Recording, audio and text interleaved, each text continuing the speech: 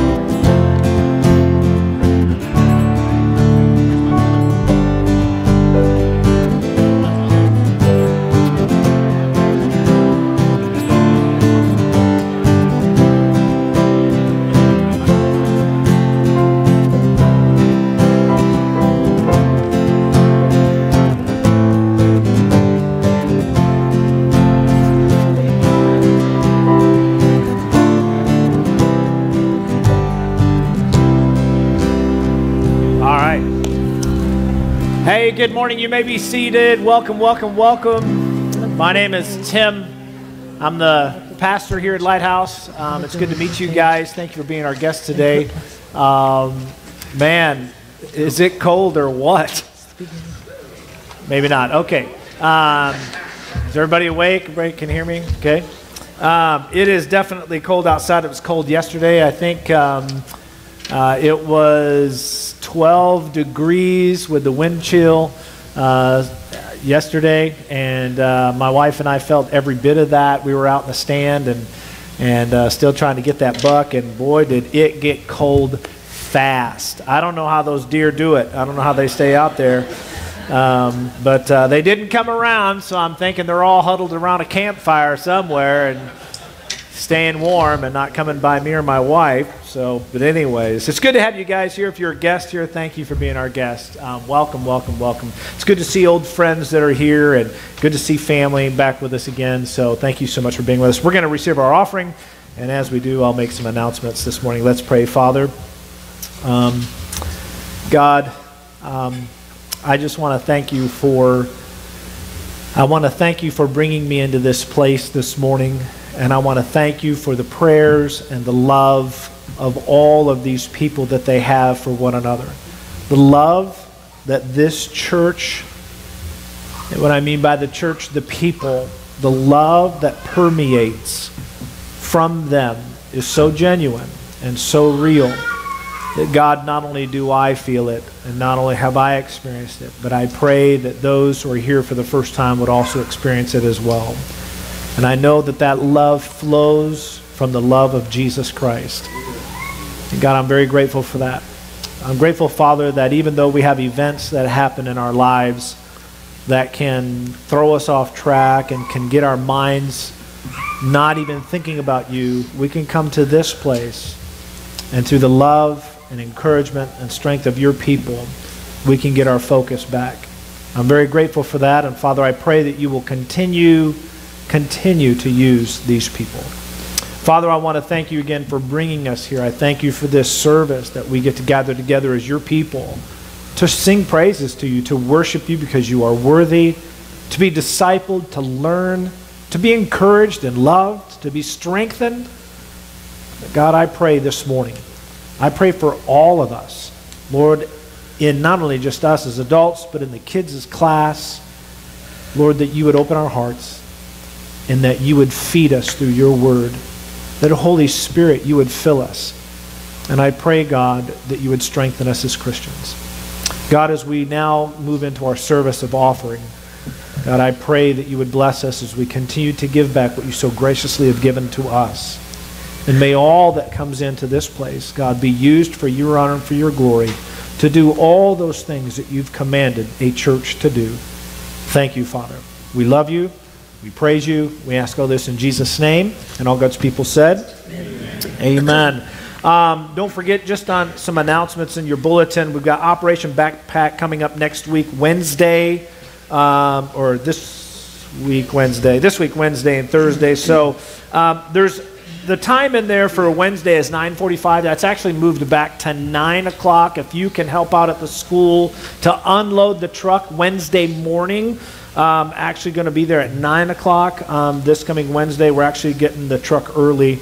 And so, and then of course, same time on Thursday to sack. We always need help sacking the bags of food on Thursday nights. If you could come and help with that, it would be so, so, so appreciated. It's an uh, Indian Creek Elementary School, and uh, we start right at about 6 o'clock, but if you came at 5.30 and helped set up some of the tables and the, and the food and stuff, we'll get um, going on that. We have our quarterly prayer meeting starting up um, January the 6th. That's Sunday night at 6 o'clock.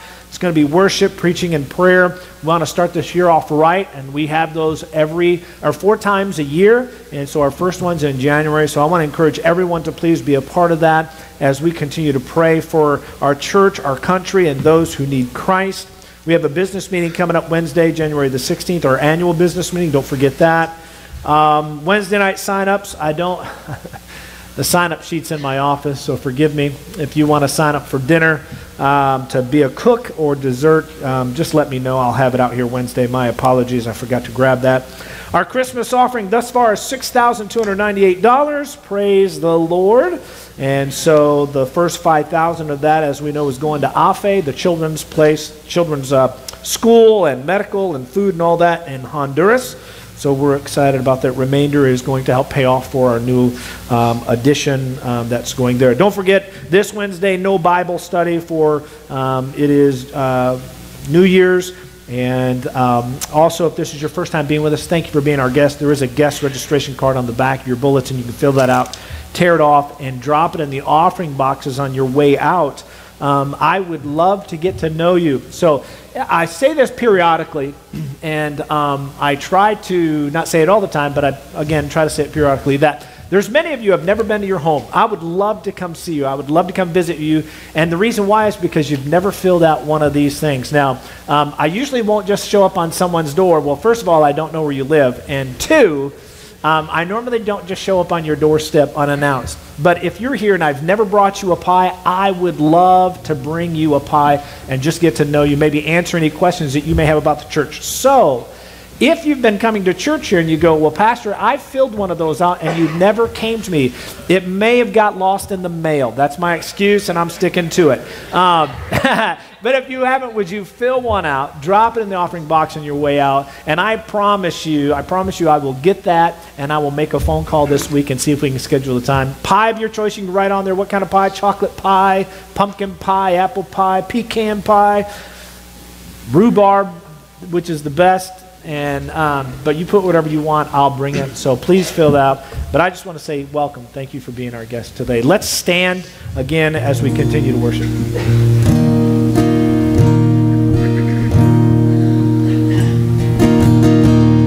next song we're going to sing has a really important message in it that kind of talks about how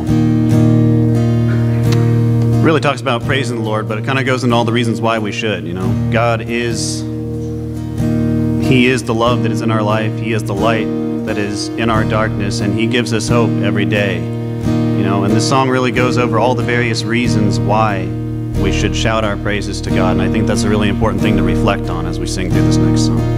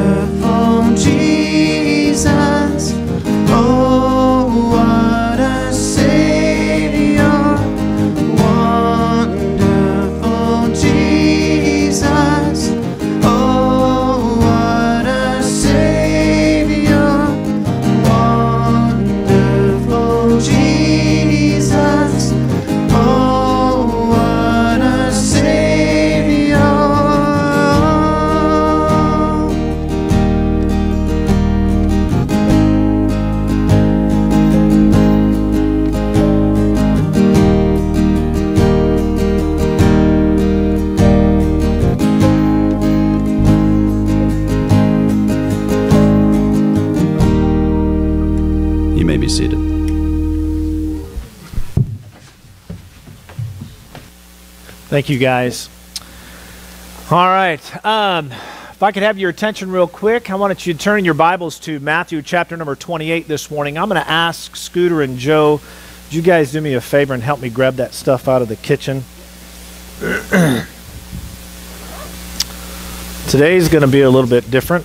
Um, I'll grab these, and you guys grab that whiteboard.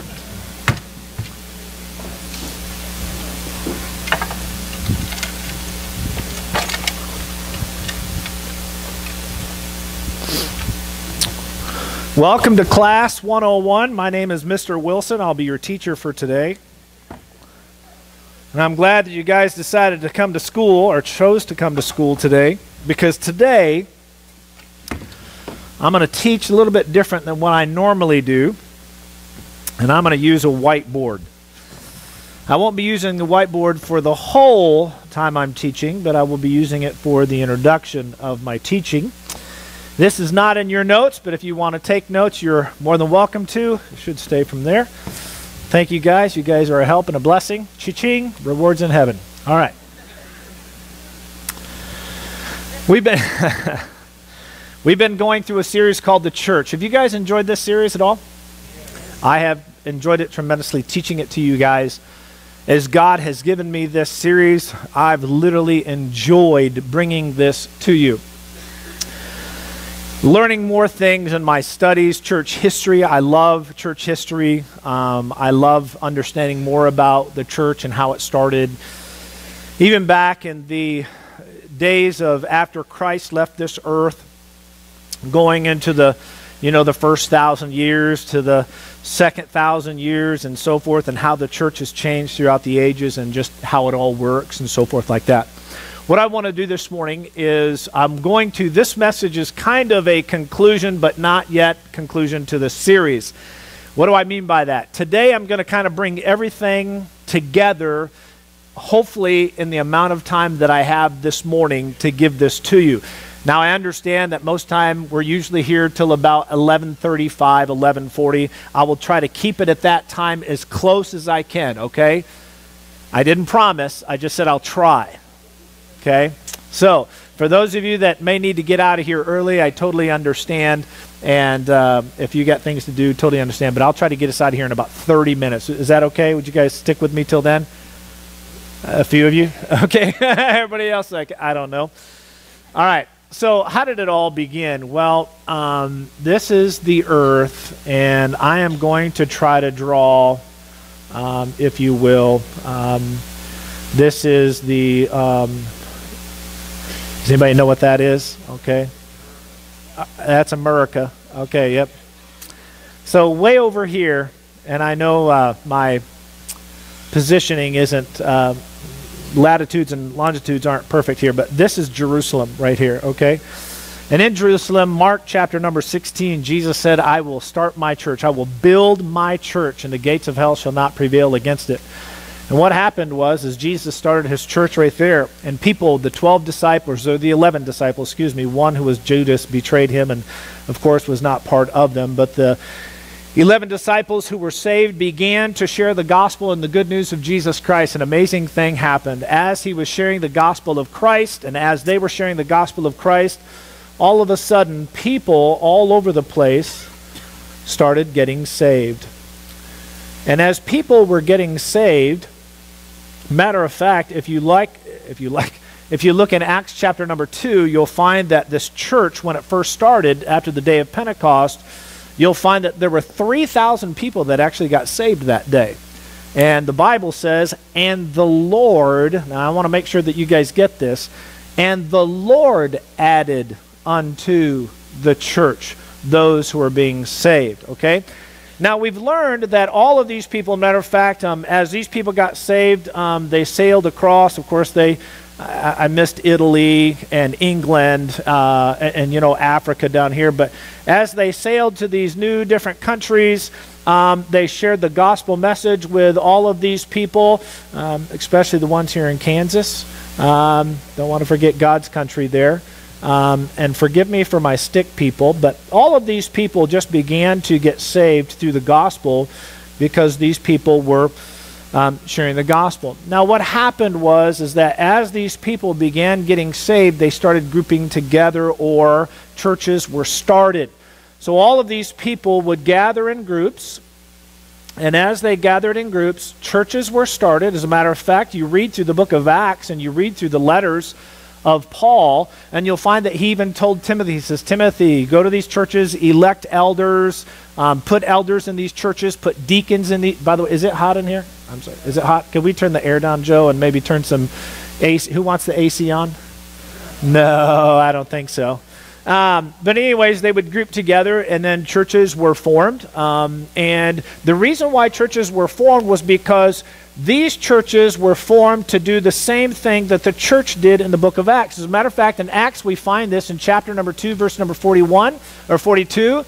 And it says, When the 3,000 were added unto the church, it says, they continued steadfastly in the apostles' doctrine and fellowship and in the breaking of bread and in prayers.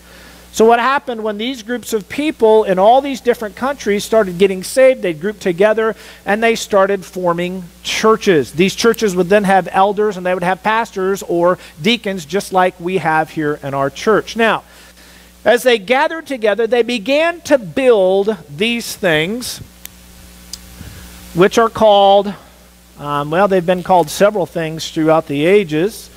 Um, you will know it more as God's house. Some people call them sanctuaries.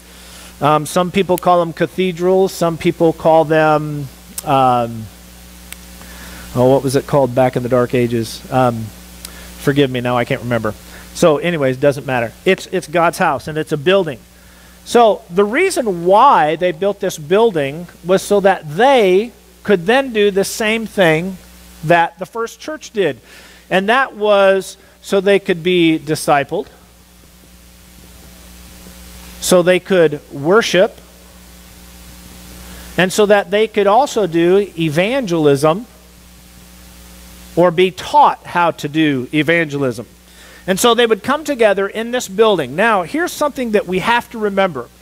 When this first started, by the way, the first recorded service that we have was back in 853 or it was 583. I can't remember. I'm a little dyslexic.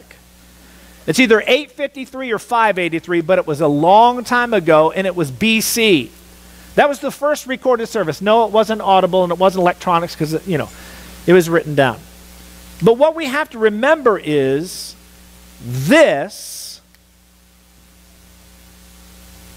was designed for them so that they could do this.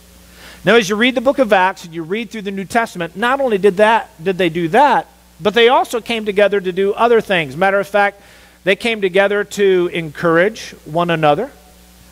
They came together to um, pray for one another. They came together to do fellowship. They came together to do communion. Forgive my penship, penmanship. But you understand that the church came together to do these things and then so much more. They had gifts. They came together to do their gifts one with another. And why? All of this was done, all of this was done so that these Christians had a place to come together as a body of believers so that they could carry out the purpose of the church. Now remember, the three purposes of the church, or the main purposes, are worship, discipleship, and evangelism. These buildings, or God's house, as we would call that, was built for the purpose of these people. And these people are what? Class, they're Christians, right? These are Christians. So the building was built for the purpose of the Christians to carry out what the church was supposed to do. Do you understand that? Do you get that? Say amen. Okay, we all get that. So, what's happened through the ages is the church is redefining itself. And that's what this whole series has been about. This whole series has been about how the church is changing. And one of the ways that the church is changing in that we are now taking this place, this building, and we are changing it into instead of being a place that is designed for these people, we are now designing the building and everything that goes on in the building in this service for unbelievers. Now, let me just pause for just a second because I'm going to reiterate this because I know that we have guests here with us today, so let me reiterate, reiterate this. Does the church want unbelievers in it, this building? Yes. Do we want you to invite your friends, family, co workers who are atheists, who are non believers? Do we want you to invite them here? Yes. Do we want you to fill this building with unbelievers? And the answer is yes. What I'm trying to do is to get us back to what was all this for in the first place because I think we've lost our, not us, but some churches have lost their focus on the way church should be done or should be as and Jesus designed it. So, what's happening today is the church is now redefining itself because it's changing its music, it's changing its preaching, it's changing its building, it's changing everything about itself, not to be Christian sensitive, but to be seeker sensitive. Seeker sensitive simply means someone who is, I'm a man, I can't do two things at once, sensitive Seeker sensitive means someone who is an unbeliever but who is trying to search for God. So, what we've done is what the church is doing is changing everything about that to now attract these people, which, again, we want them in the church. So, this kind of like, you're going, what's the purpose of this message? Just stick with me. We are taking this and everything about it and changing it for what its purpose was and making this its purpose now. Now, is that a problem? And the answer is yes, and I'll tell you why. Now, now, don't, don't get me wrong here. Understand that we want unbelievers here and we want unsaved people here. And, and, and, because we want them to hear the gospel. But I want you to understand something that in this fact that when you change things, when you change what this is for, the church building, and when I say the church building, I'm talking about everything that has to do with the service, the music, the preaching, the everything that has to do with when you change what the purpose of this is, what you do is you neglect this. Are you with me? You neglect from what it was designed for. It was designed for Christians to do what? To doctrine, fellowship, breaking of bread, prayers, but all the other things that when you read in the New Testament was everything else worship and encouragement, using gifts and serving one another, and just all of these things. Now, why is this, why is this not a good idea? And I'll tell you why. Bill Hybels, who is the pastor of, or who used to be the pastor of Willow Creek Bible Church, and by the way, or Willow Creek Community Church, and by the way, I'm not bashing him. I'm not bashing anybody that has a large mega church. Please don't, I'm not going that direction because you can be a church running 50 and be a seeker sensitive church. All I'm saying is, is you have to be careful because here's where it is. Bill Hybels, pastor of and founding pastor of the 26,000 member Willow Creek Community Church and his executive pastor at Willow Creek have concluded that portions of their seeker sensitive template don't work because mature Christians aren't being produced. In their recently released book entitled Reveal Where Are You, Greg Hawkins and er-, Eric Arnson reveal their findings based on a multi year study, study at Willow Creek, as well as six other Willow Creek Association churches. Now, listen to this. One thing they've discovered in that the programs at Willow Creek are attractive to seekers, which are non Christians looking for something. Unfortunately, they've also discovered that over the time, the parishioners who convert to Christianity become more and more malnourished. They aren't being fed. Why is this?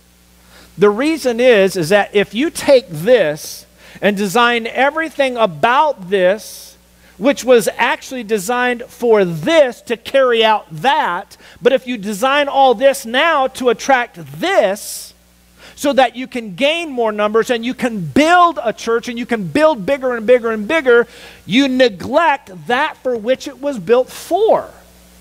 And what do you have? You have malnourished Christians. Are you with me? Now, again, I'm not bashing against Willow Creek. I'm not bashing against anybody who's got a large church. That's not what I'm saying. I'm saying is, is this what Jesus designed the church to do?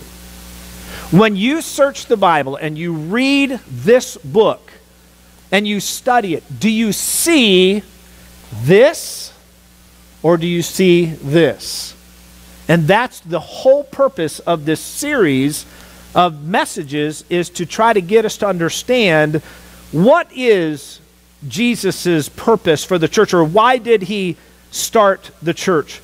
I remember it wasn't um, a couple years ago, um, I was talking to a pastor of a very, very large church. And he said this to me, and we began to discuss about church and we began to discuss about growth and so forth like that. And he says, um, he says, We've made a mistake. And I said, Really? What's that? He goes, We finally learned that in our church, we're a mile wide, but we're an inch deep. A mile wide and an inch deep. What does he mean by that? We may have a lot of people, but the maturity level of the Christians is about that deep. Where should Christians be? Well, if you read the New Testament, you read Paul. Paul even said that we ought to be mature Christians. We ought to be deepening and deepening and deepening and deepening and deepening our faith, right? We ought to be growing more and more as Christians. Are you with me? Say amen. So, with that, I know that many of you go, now, wait a minute, wait a minute, wait a minute, wait a minute. Isn't the church supposed to be about this? Aren't we supposed to be reaching out to these seeker sensitives? And the answer is yes. We do want to reach out to the seeker. We do reach out to the unbeliever. Is this what Jesus want his church to do? Yes. Remember the three purposes of the church: worship, discipleship, and evangelism. Jesus wants his church to grow and he wants his church to build, but he does the growing, he does the building. How does he do that? As people are saved, the church grows. Are you with me? So, with that being said, no, I will make it fall down. With that being said, what is evangelism? Because that's what I'm going to talk to you about today, what evangelism is. Listen to this. One pastor said it this way He said, Evangelism is not making of proselytes, it is not persuading people to make a decision. It is not proving that God exists or making a good case for the fourth of or for the truth of Christianity. It is not inviting someone to a meeting. It is not expressing the contemporary dilemma or arousing interest in Christianity. It is not wearing a badge saying Jesus saves. This is evangelism.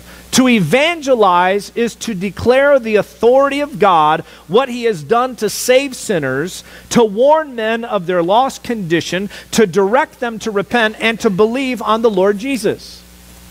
That's evangelism. When Jesus, listen, when Jesus came to this earth and you read in the Gospel of Luke, you see that Jesus' first message was what? Repent and believe the gospel. That was his message. Why? Because the Bible also declares that Jesus said, I've come to seek and to save that which is lost, right? So, the message of evangelism is the gospel message. It's, it's telling people about Jesus Christ and his saving grace. It's telling people about their lost condition. They are sinners in need of forgiveness, they're in need of a Savior. What is evangelism really? Simply, evangelism is really going and telling. That's what it is. Evangelism is really going and telling. Now, when it comes to evangelism, why must we all do this? Because here's the thing when Jesus gave the direction to the church to disciple, to worship, and to evangelize, he wasn't talking to the pastor. He was talking to all of us. How do we know that? Matthew chapter number 28, verse number 19. Listen to this. In all four gospels, Listen to the reference of evangelism. Jesus said in verse 18, All authority has been given to me in heaven and earth. He said in verse 19, Go therefore and make disciples. Making disciples is winning people to Christ, it's sharing the good news of who Jesus is. He says, Go therefore. Go is a verb, it's an action, it's going forth. Okay? It's not come and see, it's go and tell. Are you with me? All right. Mark chapter 16. Look at Mark 16, verse 15. Jesus said to them, Go into all the world and do what? Preach the gospel. The gospel of Luke 24. Jesus said this Thus it is written, and thus it was necessary for the Christ to suffer and to rise from the dead the third day, and that repentance and remission of sins should be preached in his name to all nations, beginning at Jerusalem, and you are witnesses of these things. The Gospel of John, Jesus made it simple. Jesus said to them, Peace to you, as the Father has sent me, I also send you. Who's, who, who's you? The church, the body of believers, the Christians. We are to go and tell and tell people about Christ. John Wesley, one of the great, oh my gosh, theologians and pastors of the church, said there are untold millions who are still untold. He says, You have one business on earth, and that is to save souls. Very, very good quote. Why must we all go and tell? Well, not just because we're commanded to, or commissioned to, but because the only way someone can be saved is if they hear the gospel message. You need to understand that salvation does not happen by osmosis. In other words, someone does not just gra- gradually, without hearing the gospel, without reading the gospel, without being told the gospel, a person does not just gradually come to the conclusion that they are a sinner in need of a Savior, in need of forgiveness, and that they need to repent and turn to Christ. That doesn't happen by osmosis. It happens because they are told the gospel. Look in Romans chapter number 10 with me. Romans chapter 10 and verse number 8. Romans 10, verse 8. Love this. In your notes, people must hear the gospel before they can respond to the gospel. Every single one of you got that are here today that are Christians. Did anyone here get saved by osmosis?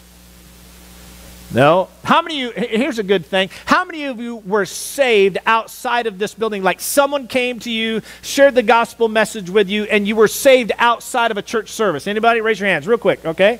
How many of you were, were saved in a church service? You came during the invitation, came down, all right? The rest of you aren't saved. I need to talk to you, and because some of y'all aren't participating. I get it. I understand. Romans chapter 10, listen to this, verse number 8. Paul said, and get back to Romans 10, verse 8.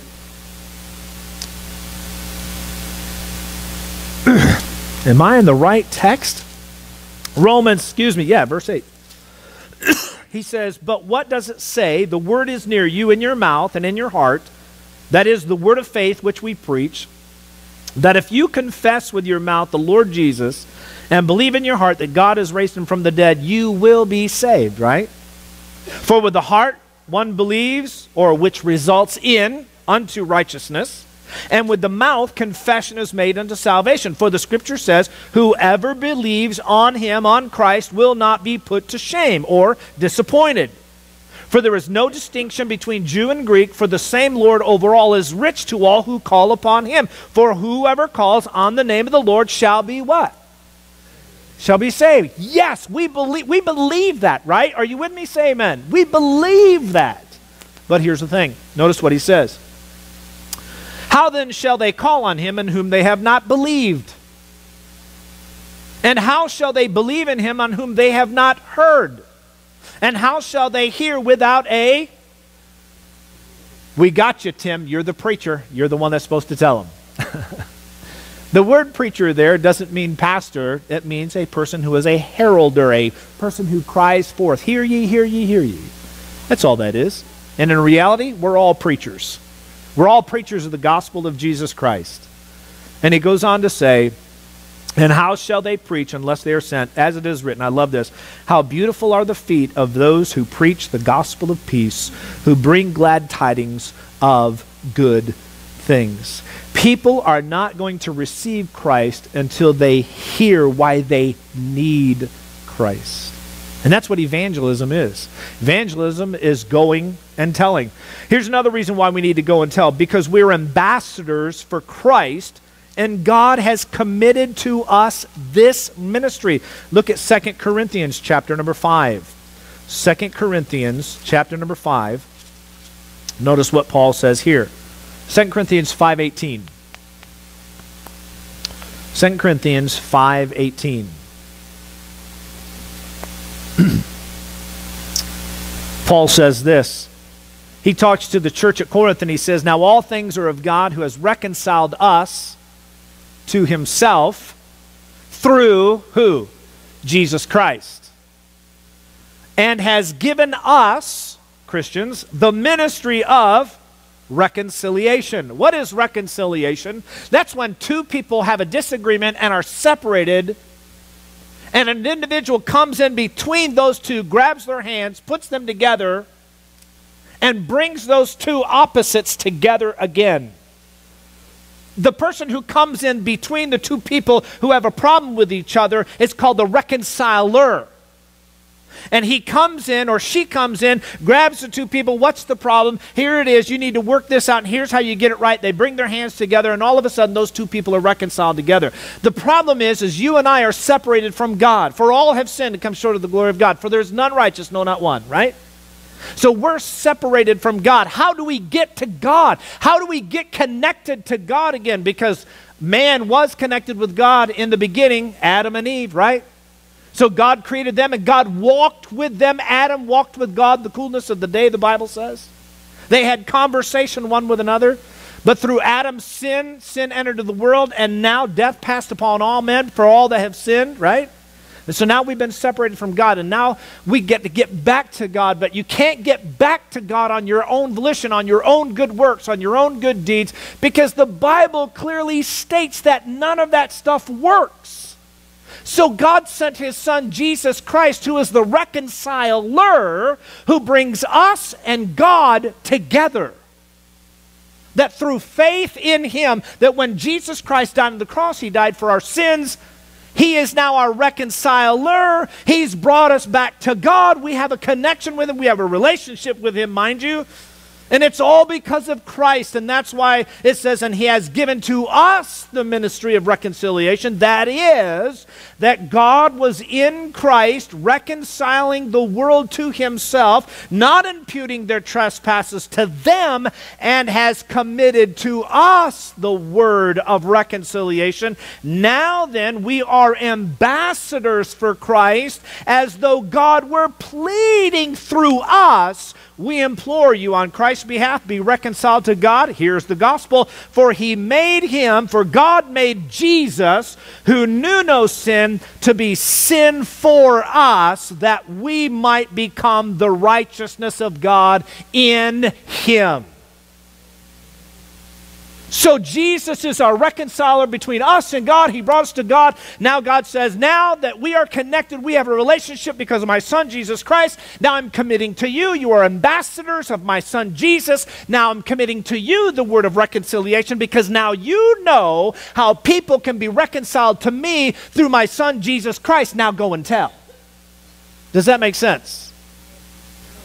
For a few of you. Okay, so some of are still looking at me like a calf at a new gate. You're just like,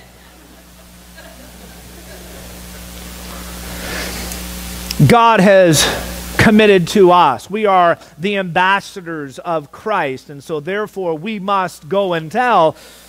But finally, we must go and tell because we have an obligation.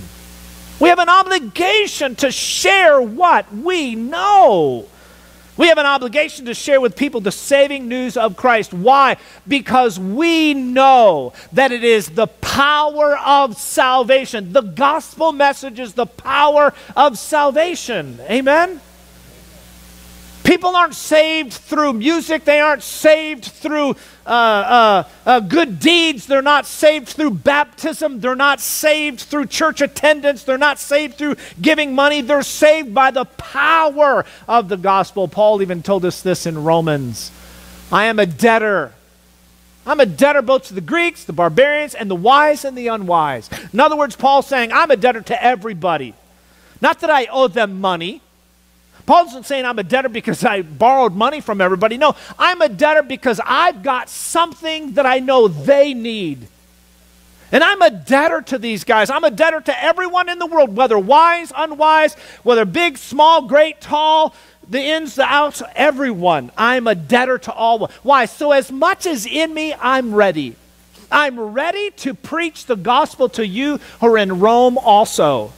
Why? Because Paul's idea was I've got something in me. I've got the gift of salvation that was given to me through Christ.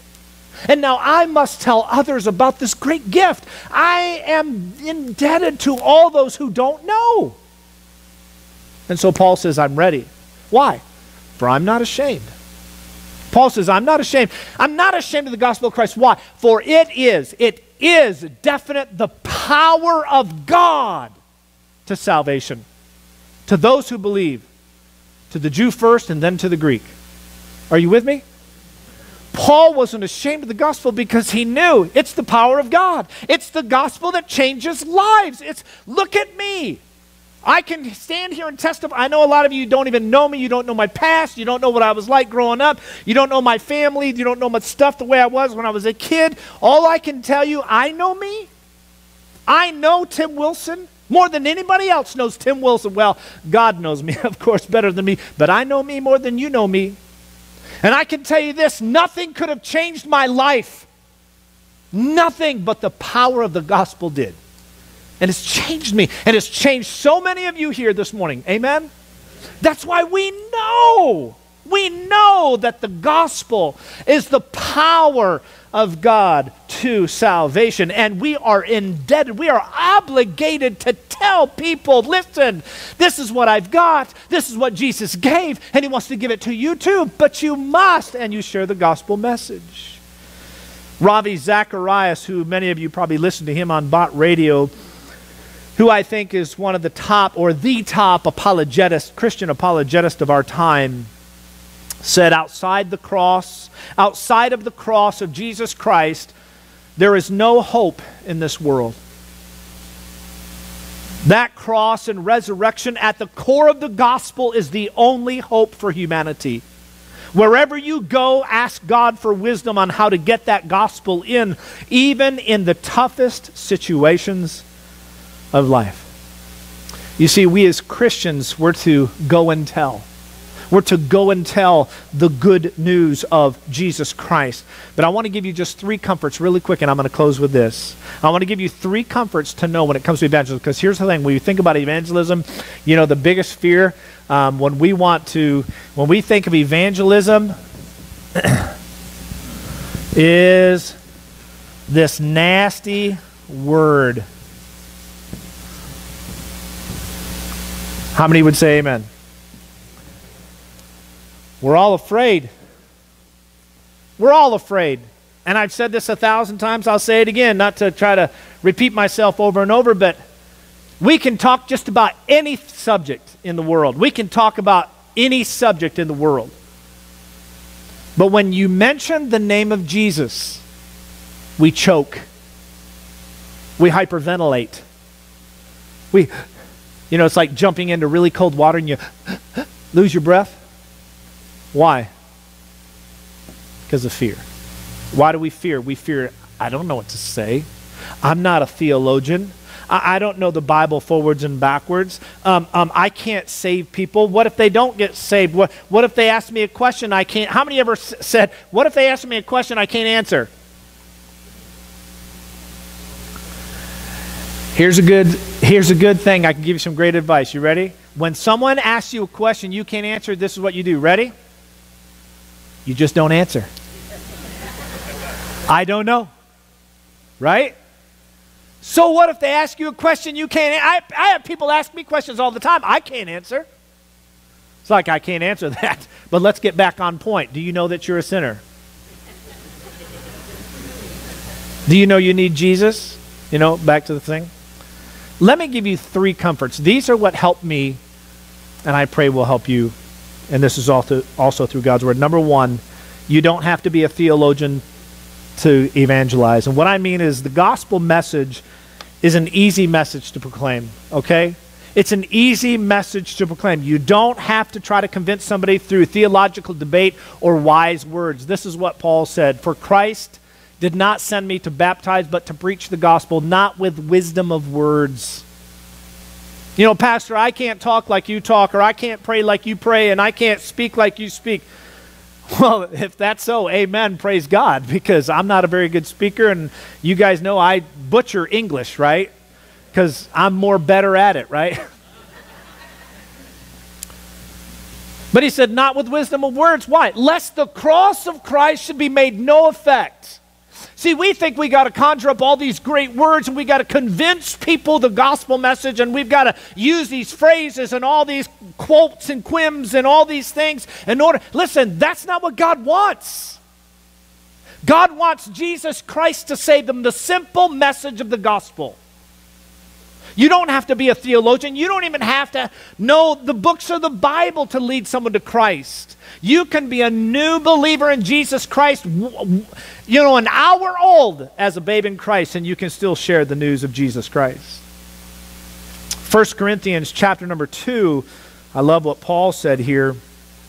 And listen to what he says. He says this 1 Corinthians 2, he says, And I, brethren, when I came to you, did not come, to, come with excellence of speech or of wisdom, declaring to you the testimony of God. For I determined not to know anything among you except Jesus Christ and Him crucified. That's it.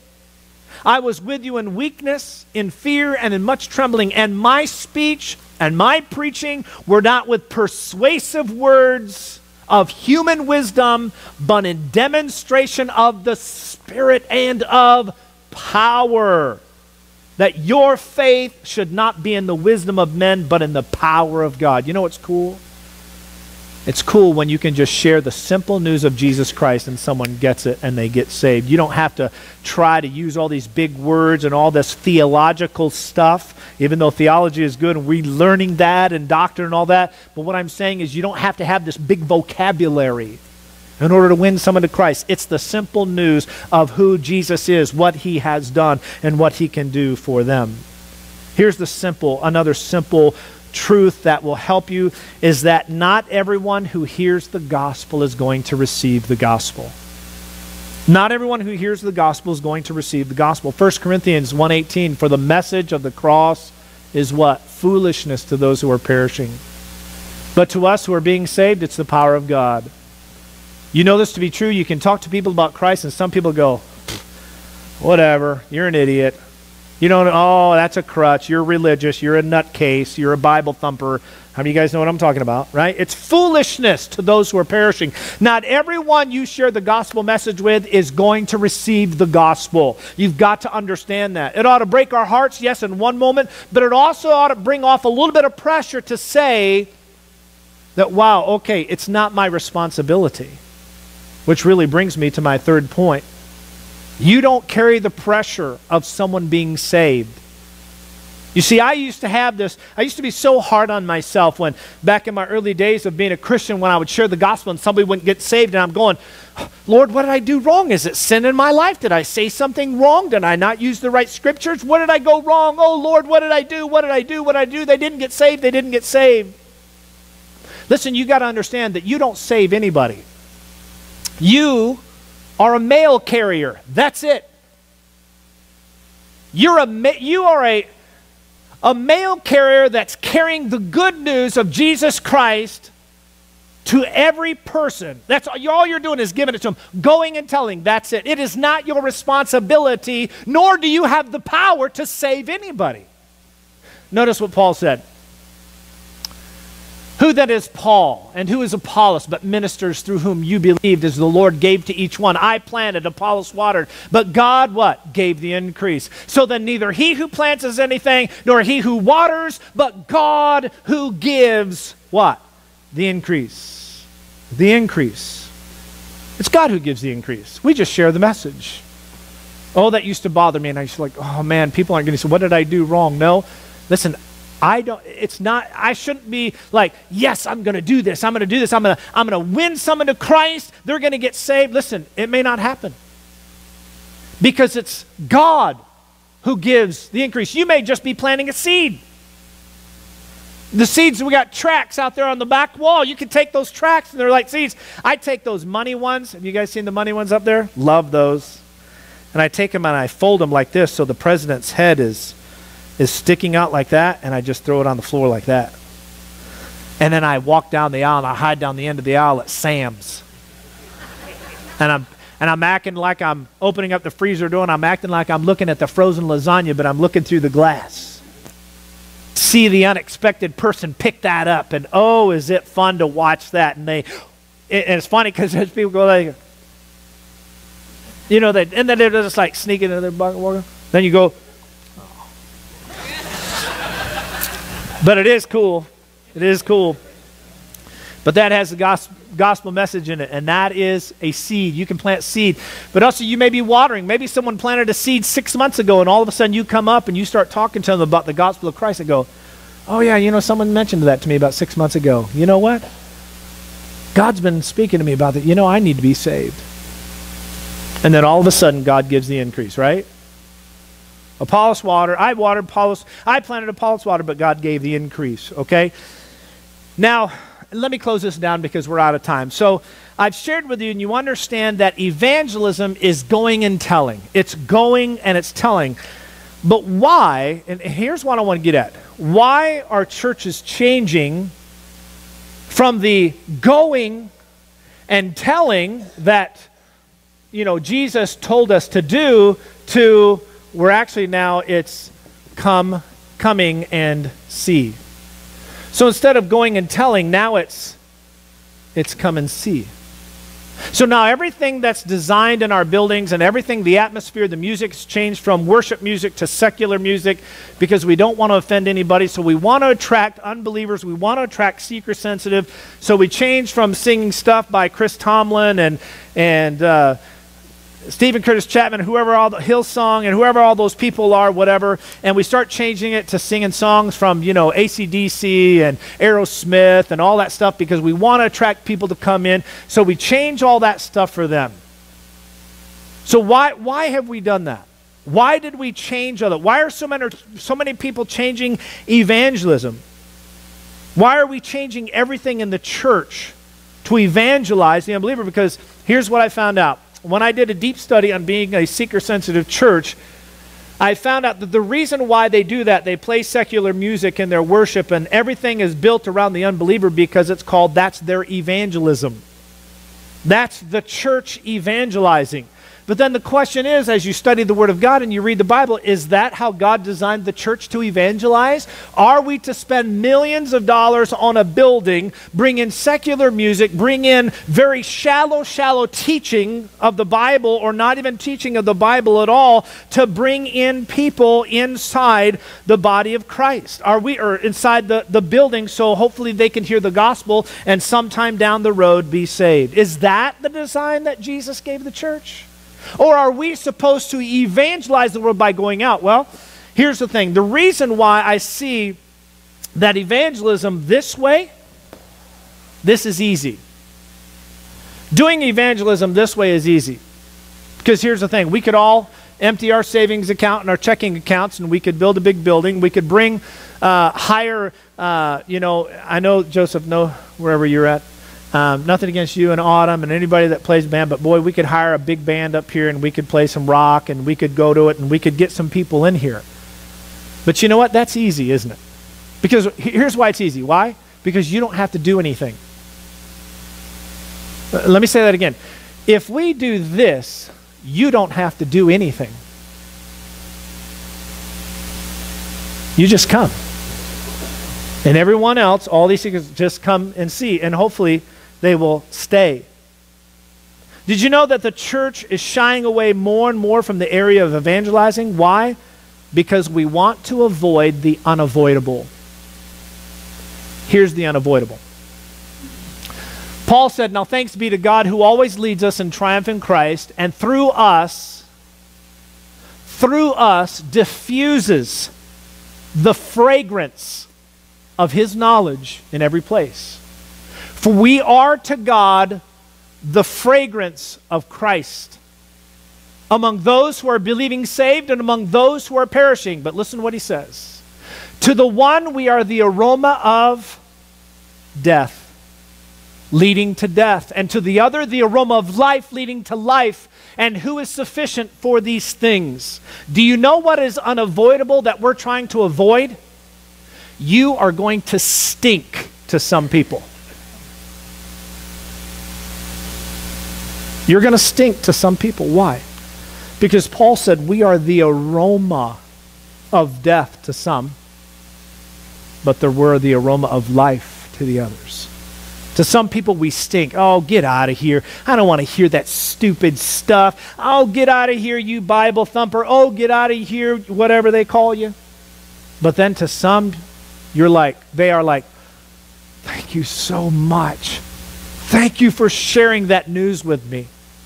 I've met, I've had people several times who I've led to Christ several times in our private conversations that tell me, Tim, thank you so much. Thank you for coming to my house. Thank you for leading me to Christ. Thank you for telling me.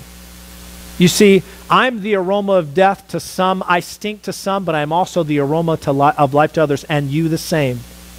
And it is something we want to avoid, but it's unavoidable. The gospel is offensive. It will always be offensive. But we must understand that it is the power of God to salvation. James MacDonald, in his book Vertical Church, said, Unless you are willing to be the aroma of death to those who are perishing, you will never be the aroma of life to those who are being saved. Charles Stanley said this in closing God's plan for enlarging his kingdom is so simple. One person telling another about the Savior, yet we're busy and full of excuses. Just remember, someone's eternal destiny is at stake. The joy you'll have when you meet that person in heaven will far exceed any discomfort you felt in sharing the gospel. So, in closing, the building. What are we supposed to do? As Christians, we are to go and tell. And that means when we leave this place, we go out of here in all directions and we share the gospel of Jesus Christ. And it's very simple. It happens just like this. Jordan, I want you to uh, expect, just right, stand right there. I'm going to use you as an illustration. I'm closing with this, so bear with me. You can put your Bible down. You won't need it. You're lost and an unbeliever. Your wife spoke to me and said you need to be saved. I come and talk to Jordan and I share the gospel message. Now, this is how you see in the Bible, this is how it works. I come and talk to Jordan. Now, I'm a member of Lighthouse Bible Church. We are a bunch of Christians who have gathered together to carry out the three purposes of the church worship, discipleship, and evangelize. We've been worship, we've been being discipled, we've been learning how to win people to Christ, we've been learning how to walk in our faith, we've been learning how to be filled with the Spirit, we've been learning how to grow in Christ, we've been learning how to serve one another, love one another, encourage one another, pray for one another. We're learning all of these things. It's called doctrine, it's called theology. We're learning all of this stuff about Jesus. And now, as a member of Lighthouse Bible Church in this place, I'm now leaving this place and I go to Jordan and I explain the gospel message of, to Jordan. And Jordan, because he's been moved by the Holy Spirit, and the Bible says, Jesus said, No man comes to me except the Father first draw him. God's been drawing his heart. Jordan receives Christ and gets saved. And now, once he gets saved, I say, Jordan, now that you know Jesus Christ is your Savior, your next step is baptism. You need to be baptized and you need to be discipled. I belong to a church called Lighthouse Bible Church, and there's a bunch of us that meet there on the corner of 62nd, 75. We're that big white building with the blue roof. You can't miss us. If you hit the dump, you've gone too far. But if you come back right there on the west side of 62nd, 75, you know where that's at? Right? Okay, so you need to come to church. So come here and follow me. Come on up here. So Jordan comes on up here, and Jordan comes in, and I introduced Jordan, hey guys, and we're just a little small church. I, hey guys, this is Jordan Hunt, and I led Jordan to Christ, and he's come and he wants to be baptized. And baptism is an identification with Christ, an identification with his church. Jordan gets baptized. I baptize him, or whoever is that's here that's going to baptize him. He gets underwater. He's now baptized, and now he is part of the three purposes of the church. He's now in church. He's worshiping, he's discipling. Now, he isn't evangelizing yet because he's being discipled. But now that he's been discipled, now he's going to go off and he's going to lead someone to Christ. And while he's doing that, I'm doing that. Now, you can go, go back and have a seat. So, as he's going, he's now going to grab somebody. And as I'm going, I'm going to grab somebody. And now, as we both lead someone to the Lord, we come back the next Sunday. Now, how many are up here? Four. And now there's four of us up here, but two are getting baptized and they're getting uh, uh, discipled and worshiped now in the church. And now they go out and they meet two, two people, plus Jordan and I go out. And now we all go out and we bring somebody back. Now, how many do we have? Eight. Are you with me? Do you see the rep- repetition here? The Bible says, as people are being saved, the Lord adds unto the church. You see, I can't stand here and go, do you know why we have so many people come to church here? It's because of this. It's because of that. It's because of this, or it's because of that. We can't say any of that here at Lighthouse. But what we can say is this the reason why people come here is because of God. People are saved through the gospel of Jesus Christ. And Jesus will build this church. Are you with me? So, do you see the importance of evangelism? It's not about, now, again, then people go, well, is this wrong? Is this a sin? No, it, we, we can't get into that area of is, is this a sin? Is it wrong? Can we do both? I think you can do both in attracting unbelievers, but don't change what the purpose of the church is for. Because if you change this for this, these will be weak. But if you keep this for this, they will go out and reach them. But at the same time, the doors are always open for the unbeliever and the seeker to come in. Because at this church, they will always hear the gospel message. Always. Let me ask you to bow your heads and close your eyes, and we'll close. I hope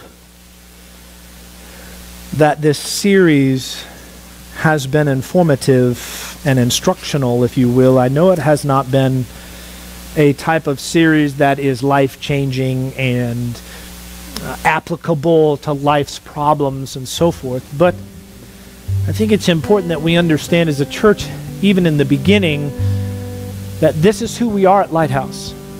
This is what we do. And this is the this is the pathway we will take because biblically, this is right. We want all people to come in the door. We want everyone who doesn't know Christ, no matter their background, no matter their lifestyle, no matter who they are, we want them to fill in this building and we want to share Jesus with them and pray that they will be saved. But I also don't want to neglect and turn this place into some place that's made for someone for, to which it's not intended for someone to be. But we want to be a church that's discipling Christians, that's growing believers, that we are observing communion, fellowship, breaking of bread, prayers, loving on one another, encouraging one another, all those many things. And I pray that that never changes. If you're here this morning and you go, well, you know, after hearing about the gospel message, it's never been really clear before, I want to be saved. I cannot give you the words to say, and I cannot, um, I cannot save you. All I can do is tell you this: the Bible clearly states that we're all sinners, and that we're all in need of a Savior. His name is Jesus, and that by faith, if you will receive Him, that when He died on the cross, He died for your sins. You can be saved, and it's as simple as this. Now, I I do this many times, and I pray a prayer, but it's not the words that you speak. It's just it's just a uh, it's an example, if you will. And that would be something like Father, I know that I'm a sinner. I ask for your forgiveness. I repent of my sins, turning away from them, and I'm turning to Jesus. I may not understand everything about him, but I do know this. I know he died for me. He gave his life so I could be forgiven. And I'm putting all my faith, all my cards, everything on Christ. I make him my Savior today. Come into my life. From this day forward, God, I'm going to live the best I know how for Jesus as I grow. In Jesus' name. It's something as simple as that. So, my friend, if you've done that, you want to do that, I pray that you pray that. Let me know. Say, Pastor, I gave my life to Christ. I was saved. I would love to know, I'd love to chat with you. Maybe you're here today, you go, you know what? I want to unite with this church. I've been coming here for a long time. I've never verbally have joined. I've never verbally came forward and said, I want to be a part of this ministry. I pray that you'll come. Or maybe you need to be baptized. Whatever it is that God's calling you to do, for just a moment, I'm going to be quiet for just a quick moment. But if God's laying something on your heart, I pray that you'll come and follow his leading.